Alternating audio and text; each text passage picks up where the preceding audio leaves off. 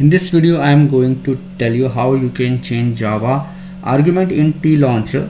So you just need to open this TLauncher from your own system.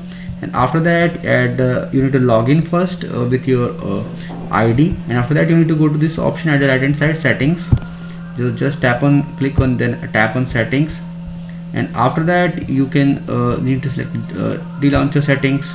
After that uh, you need to just click on this selection of Java you can see program argument is also showing here. You can make the required changes here as well. Or you can select the java file from here. You can need to click on change option. And uh, you can see java argument is showing here. You can simply type the java argument here. You can even enter the name and the path of the folder. You can browse it from this place. And you need to just select the required java file from here.